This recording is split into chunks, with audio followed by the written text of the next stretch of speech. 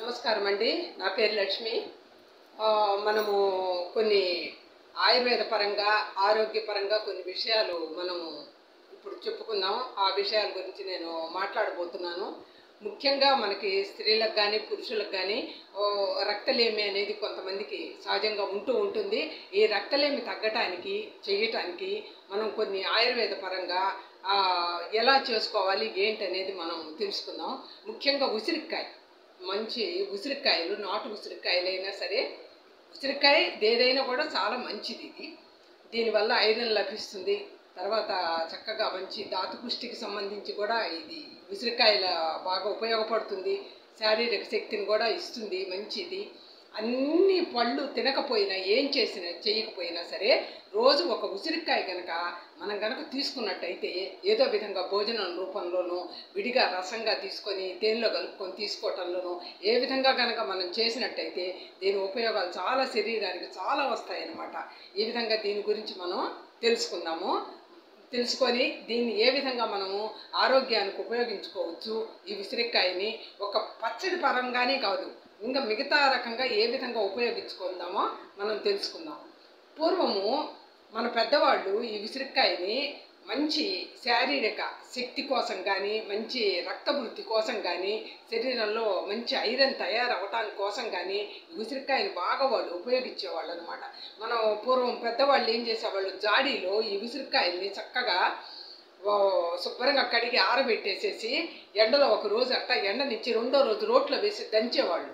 దంచి ఆ విత్తనాలన్నీ తీసేసి పక్కన పెట్టి ఈ ఉసిరికాయ పలుకులనంతా చక్కగా జాడీలో పెట్టి చక్కగా వాసనలు కట్టి చక్కగా పెట్టేవాళ్ళు అనమాట ఫస్ట్ రోజు బాగా ఈ విసిరికాయని ఒలుపుల్ని అంతా జాడీలో పెట్టేసేసి ఒక రోజు రెండు రోజులు ఆ రకంగా జాడీలో వాసన కట్టి మూత పెట్టి మూడో రోజున ఉప్పు కలిపి రోట్లో వేసి రాళ్ళ ఉప్పు అనమాట.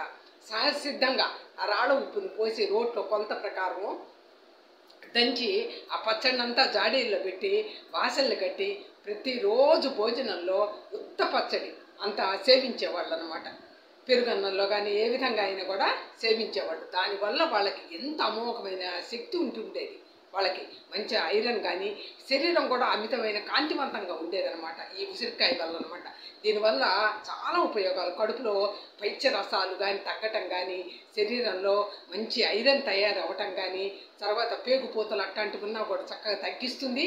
ఇది దేనితో కూడా మాగబెట్టి కూడా వాడుకోవచ్చు అనమాట అట్లా ఆ విధంగా ఈ ఉసిరికాయని పచ్చని పూర్వం మన వాళ్ళు పెద్దవాళ్ళు కొంతమంది ఎలా ఉపయోగించారో మనం చెప్తామన్నమాట.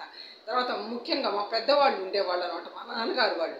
మా నాన్నగారు వాళ్ళు ఏం చేసేవాళ్ళు అంటే ఈ ఉసిరికాయ పచ్చడిని చక్కగా ఉప్పు వేసి పసుపు వేసి ద- దంచి పెట్టుకునేవాళ్ళు అనమాట జాడీల్లో మా పెద్దవాళ్ళు తయారు చేసి వాసనలు కట్టి పెట్టేవాళ్ళు అనమాట పెట్టి ప్రతిరోజు రాత్రిళ్ళ పూట అన్నము వండుకుంటాం కదా మనము.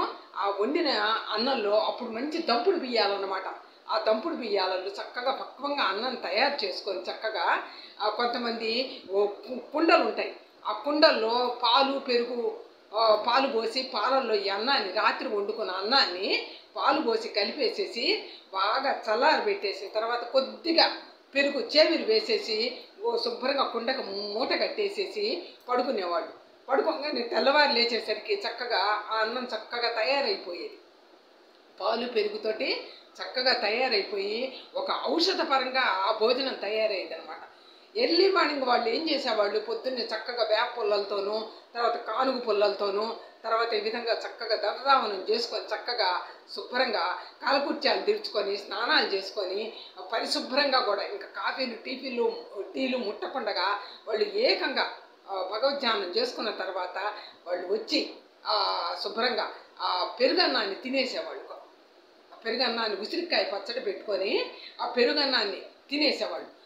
అసలు నిజంగా కూడా ఒక ఫార్టీ డేస్కి అంతా వాళ్ళ ఎట్ట శరీర ఛాయ్ పెరుగుతుందంటే ఆ విధంగా బంగారు రంగులో శరీర ఛాయ్ పెరుగుతుందన్నమాట. మంచి ఐరన్ పుష్టి చక్కగా బలము కడుపుల్లో పేగులకు బలం అనమాట పొత్తి కడుపు నరాలకు కానీ కండరాలకు కానీ మంచి బలం వస్తుంది. ఆ విధంగా కనుక ఆహారం కనుక తీసుకున్నట్టయితే ఆ విధంగా కనుక చేసుకున్నట్టయితే మనకి ఎంతో కూడా ఉపయోగకరంగా ఉంటుంది. ఈ కాలం మారిపోయింది. ఈ టిఫిన్లు ఎక్కువైపోయాయి. ఆ పెరుగన్నాలు తింటము ఆ పద్ధతులు పాటించటము ఇప్పటి జనరేషన్ తగ్గిపోయింది. కానీ మనము ఈ విధంగా దాన్ని తయారు చేసుకోవటానికి ప్రయత్నించామంటే మనం ఎంతో కూడా హెల్దీగా తయారవుతాం అనమాట తర్వాత దానివల్ల ఉపయోగాలు చాలా ఉన్నాయన్నమాట. మా నాన్నగారు ఏం చేసేవారంటే ఈ విధంగా ఆయన బాగా ప్రాణాయామాలు తర్వాత ఆయుర్వేద పరంగా ఆయన డాక్టర్ ఆయుర్వేద పరంగా మందులు ఇస్తుండేవారు ఆయన చక్కగా ఎర్లీ మార్నింగ్ చక్కగా సంధ్యావందనాలు అన్నీ చేసుకొని అన్ని దేవుడికి నమస్కారాలు పెట్టుకొని అన్నీ అయిన తర్వాత ఆయన ఈ భోజనం చేసేవారు అనమాట రాత్రిల పూట మా అమ్మగారి చేత చక్కగా పాలు అన్నం వండిచ్చేసేసి ఆ అన్నంలో పాలు పోసి బాగా చల్లారి పెట్టేసేసి ఆ తర్వాత చేవిది కాస్త పెరుగు వేయించి తోడు పెట్టేసేసి పడుకునేవారు. పడుకుంటే తెల్లవారేసరికి అది మధురంగా తయారైపోయేది అనమాట అసలు దాని టేస్ట్ టేస్ట్ కాదనమాట అంత బాగుండేది. ఆ విధంగా అందులో ఈ జాడీలోంచి చెక్క స్పూన్లు పెట్టేవాళ్ళు. స్టీల్ స్పూన్లు అట్లాంటివంతా పెట్టేవాళ్ళు కాదు. చెక్క స్పూను చెక్క గెరిటెలు పెట్టి ఆ జాడీలో ఉసిరికాయ పచ్చడి తీసుకొని చక్కగా అరిటాకులో పెట్టుకోవటం మంచి వెండి కంచాల్లోనూ ఎవరికి తగింది వాళ్ళు? ఉన్నది. పెట్టుకొని చక్కగా ఆ భోజనం చేసేవారు ఆ బిస్తట్లో బాగా కుండల్లో మంచినీళ్ళు పెట్టుకునేవాళ్ళు రాగి చెంబుల్లో మంచినీళ్ళు పెట్టుకునేవాళ్ళు. అవి రాత్రి పూట పెట్టుకొని పొద్దున్నే భోజనానికి ముందర ఆ నీళ్ళు తీసుకొచ్చి పెట్టుకొని ఈ అరిటాకులో ఈ పెరుగు అన్నము అది ఉంటుంది కదా పెట్టుకొని ఇంక ఏమీ నంచుకునేవాళ్ళు కదా. ఓన్లీ ఉసిరికాయ ఉప్పు ఉసిరికాయ పచ్చడి. దాన్ని పెట్టుకొని బాగా అంత నిమ్మకాయ అంతా పెట్టుకొని ఆ భోజనం చేసేవాడు అసలు నిజంగా కూడా మా నాన్నగారు ఆ విధంగా చేసేవారు. ఆయన ఒళ్ళు బంగారు ఛాయలోకి వచ్చేసింది. ఆయన అలా చేసి చూపించారనమాట ఈ విధంగా ఉంటుంది ఇలా చేస్తే బాగుంటుంది. ఒక ఫార్టీ డేస్కి అంత శరీర ఛాయ మారుతుంది. శరీరంలో పైచ్య రసాలు అవన్నీ కూడా సమంగా ఉంటాయి. అతి పైత్యం తగ్గిపోతుంది ఒంట్లోనూ. టీలు కాఫీలు కాస్త తగ్గించేసేసి పొద్దున్నే కనుక ఈ భోజనం కనుక ఈ పద్ధతిలో కనుక తీసుకున్నట్టయితే ఒంట్లో అతి ఉష్ణం అనేది తగ్గిపోతుంది. అతి ఉష్ణం తగ్గిపోయి కడుపులో పేగుపోతలు మంటలు తగ్గిపోయి హాయిగా జీవం జీవశక్తితో ఉంటారన్నమాట. మీరు ఎవరైనా కూడా ఈ పద్ధతిలో కనుక దాన్ని కనుక చూసినట్టయితే చేసినట్టయితే చూసి ఏ విధంగా చేసుకోవాలనేది నేను కూడా చూపిస్తాను మీకు. ఆ విధంగా కూడా చక్కగా ఈ పచ్చళ్ళు ఇవంతా ఈ విసిరికాయ పచ్చళ్ళు చక్కగా వాసన కట్టుకొని చేతులతో పెట్టకుండా ఒక చెక్కగేరి లాంటిది పెట్టుకొని కనుక స్త్రీలు కానీ పురుషులు కానీ ఈ పద్ధతిని కనుక ఓపిక చేసుకొని అవలంబిస్తే శరీరంలో రుగ్మతలు చాలా తగ్గుతాయి అన్నమాట చక్కగా ఓపిక చేసుకొని అంత పెరుగన్నం. అంత ఉసిరికాయ పచ్చడి. తినే శుభ్రంగా చల్లగా హాయిగా మంచినీళ్ళు తాగేసేసి ఇంకా వేరేవి ఏం పెట్టుకోవద్దు. వేరే వేరే రకరకాల తిళ్ళు ఆ భోజనాలు పెట్టుకో. ఒక నాలుగు గంటలు ఐదు గంటలు శుభ్రంగా అరగనిచ్చేసిన తర్వాత ఆ తర్వాత మీరు సాత్విక భోజనం ఏదైనా మీరు తీసుకోవచ్చు అనమాట చాలా గుడ్ ఫుడ్ అనమాట చాలా బాగుంటుంది. ఆచరించి చూడండి. ఈ వీడియో మీకు నచ్చినట్టయితే లైక్ చేయండి షేర్ చేయండి సబ్స్క్రైబ్ చేయండి సబ్స్క్రైబ్ చేయండి. తర్వాత ఇకపోతే దీని గురించి కూడా మనం చాలా విషయాలు తెలుసుకున్నాము మరలా ఈ ఉసిరి లేఖ్యము ఎలా చేసుకోవాల్సింది ఏంటి కూడా మీకు నేను మరలా చెప్తాను నమస్కారం అండి నా పేరు లక్ష్మి. ఈ విధంగా ఈ ఉసిరికాయలు మనం ఏ విధంగా చేసుకోవాలి అనేది నేను చెప్పాను కదా. అట్లాగే మనం ఈ ఉసిరికాయల్ని లేహ్యం ఎలా తయారు చేసుకోవాలి పచ్చడి చెప్పి ఉంటాం. జనరల్గా అందరం అది చేస్తాము పచ్చడి అనేది. ఆ విధంగా కూడా పచ్చడి చేసి జార్లో జాడీల్లో పెట్టుకుంటే మాత్రం చాలా ఉపయోగకరంగా బాగుంటుంది. పచ్చడి కూడా చెడిపోదు మీకు.